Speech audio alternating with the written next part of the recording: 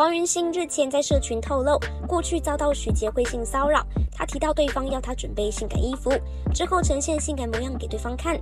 后来排练场人越来越少，让他越来越害怕。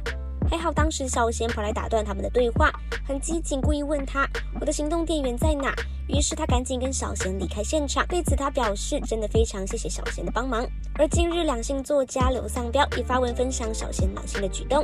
他表示，多年前上节目刚好遇到小贤，那时候因为刚接触现场节目，所以在化妆间有点紧张，不敢跟艺人来宾打招呼。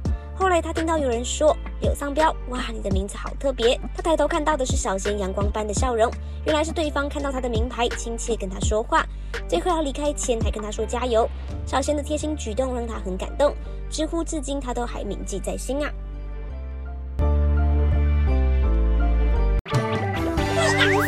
you